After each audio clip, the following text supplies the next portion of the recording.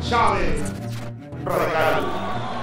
Ustedes deben recordar que dentro de la terminología burguesa capitalista, a ustedes o a la mayoría de los sectores de la economía llamada informal, los llaman pequeños empresarios.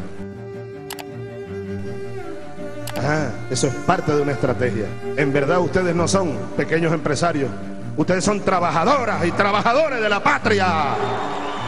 Ustedes no son patronos. Ustedes son trabajadores y son trabajadoras, servidores públicos, servidoras del pueblo. Los trabajadores de la economía informal son, parte esencial de la clase obrera venezolana.